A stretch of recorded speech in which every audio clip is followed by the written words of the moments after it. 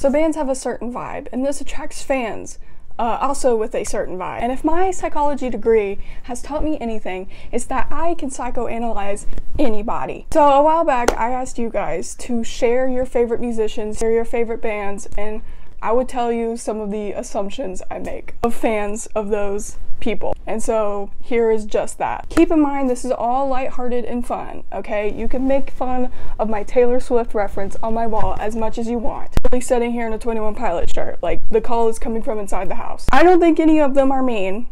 But that in mind, this is a lighthearted video, and if you don't like what I say, you should have picked someone cooler. I don't know. So here are some of the assumptions, and I guess you could say stereotypes, but I feel like that's kind of like harmful, negative word. Some of the first impressions that I get of people who are fans of whoever you submitted. So first one up, Olivia Rodrigo. Now I feel like Olivia is like the pop punk gateway drug.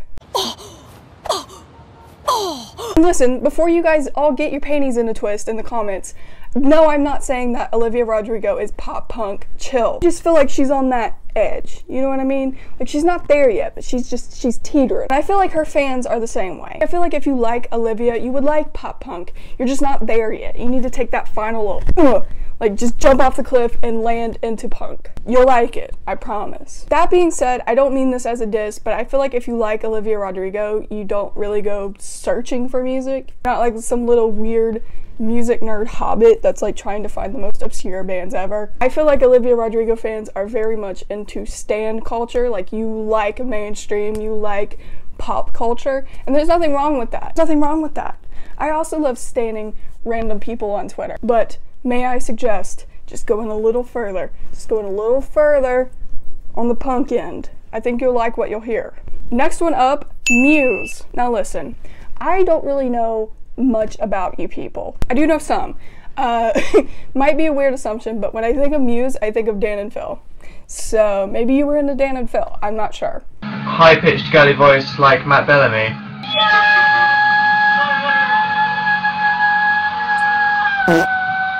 But I feel like Muse fans are very low key. Like, I don't really see you in drama. I don't really see you fighting. I think that you just like Muse, and that's totally chill. And you have great taste. I feel like you guys are just like under the radar. Like, you don't get involved, you just listen to music. And that's kind of beautiful and underappreciated. So, good job, Muse fans. The warning. Okay.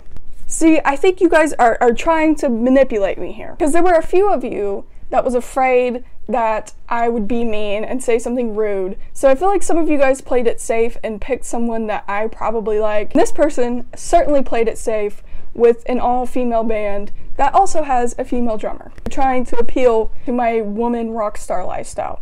And you know what? I'll, I'll give you a pass. I feel like if you like the warning, you're very cool and you appreciate women rock stars, and that's lovely. Keep supporting women in rock specifically me, Ghost. Okay, so I like Ghost, and the biggest assumption I have with this band is that, and I mean this with peace and love, but the fans give like theater kid energy.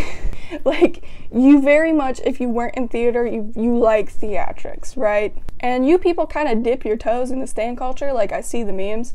But you guys, for the most part, for what I see, are very peaceful, so thank you for that. You guys just kind of post funny, silly memes, and that's about it. But because you like theatrics and, and because you kind of like a story, I feel like, that I feel like when you see other bands, they feel lesser than. Like, you go and it's just like people on stage and you're like, where's the story? I also feel like Ghost fans are kind of artsy. I feel like you're into like an art. Mainly probably performance art, because Ghost is just so there's so much more than a band. I feel like you like concept albums, you like bands with lore, hence why you like Ghost. Or you just got into Ghost because that one song went popular on TikTok. E either way. Korn.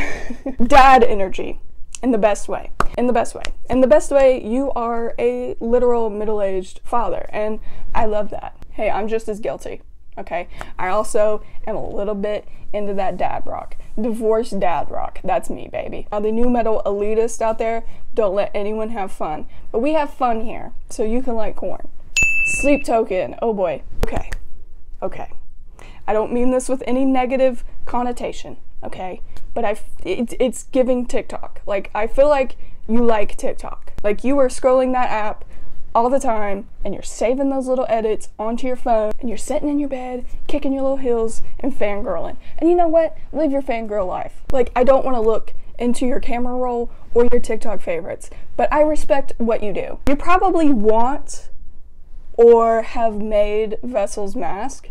Might have a little thing for masks if you know what I mean, but like that's that's something different entirely.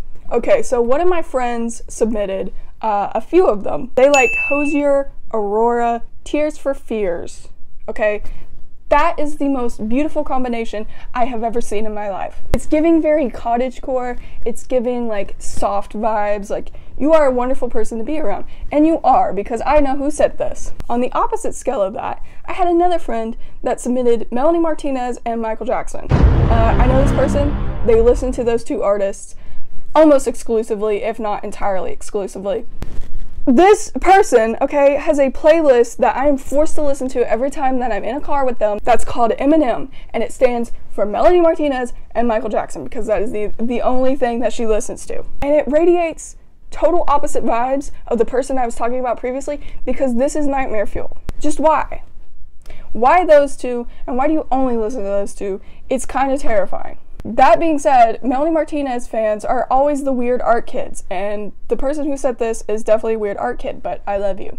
Avril Lavigne. Okay, you guys, I think, are what the Olivia Rodrigo fans want to be. Or them at their full potential. You know what I'm saying? I feel like you were very much into the internet in the early 2000s. Like you were on Tumblr, perhaps on MySpace if you're that old. I feel like if you're a girl who likes Avril Lavigne, that you wanted to look like those like emo girls on Tumblr that everyone wanted to be, but you especially. And you know what? You do you, boo. Mindless self-indulgence. It's giving like 2000s emo rave culture. It kind of scares me. I feel like these people go to the back of Spencer's with no fear. And you scare me a little bit.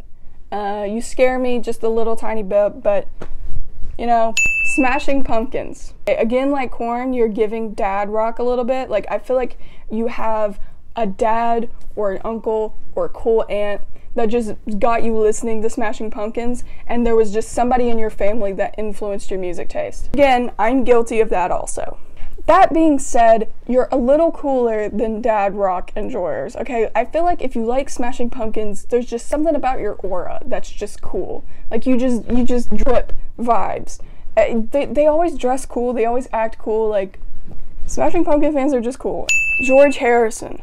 Okay, I feel like if you like George Harrison or just the Beatles in general, you have an appreciation for music history. Like you like knowing not only the music but the story behind the music. You probably have like infinite knowledge about random factoids about any rock star ever. I also feel like these same people that are really into music history are also musicians because no one in their right mind uh, looks into this enough unless you're also a musician. And that can also be low key. I feel like George Harrison and Beatle enjoyers can also be just, you know, casual guitar players or something, but I feel like it goes further. Like, I feel like these people are like actually musicians and it's not just a hobby, but you know, it could be. And I feel like this goes further and I feel like you're also a musician who likes retro things. Okay, because I'm not gonna lie, George Harrison's a little old. Okay, not, no disrespect, but it is a little bit of an older artist. I can't say anything because right across my room, I'm staring at a Rumours vinyl. Okay, that's just how it is. And because of our similarity, I see you. You like retro things. I'm gonna say you probably vinyl collect, probably into cassettes. That's just the vibe. Tenacious D.